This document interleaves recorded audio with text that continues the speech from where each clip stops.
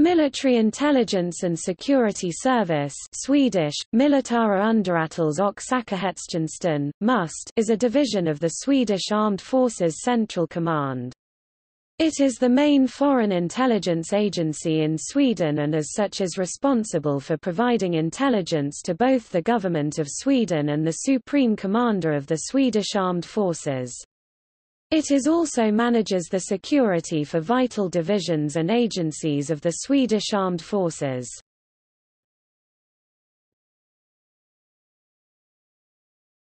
Topic: Departments. MUST consists of three known departments.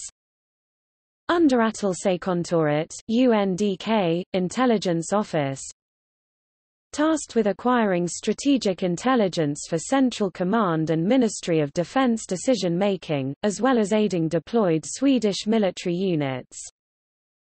Säkerhetskontoret SÄK, Security Office tasked with electronic and cyber warfare, counterintelligence, cryptography, and personnel vetting. Kontoret för särskild inhämtning KSI, Office for Special Assignment tasked with espionage, including human intelligence and interagency relations, as well as clandestine activities.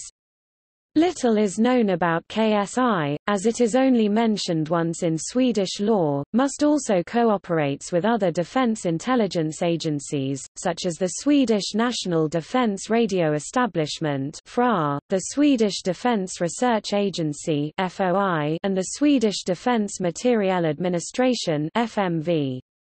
In contrast to common belief, FRA is not a part of MUST, but a civil agency. Current director of MUST is Major General Gunnar Karlsson. Even though MUST is technically a part of the military, a majority of the staff is civilian.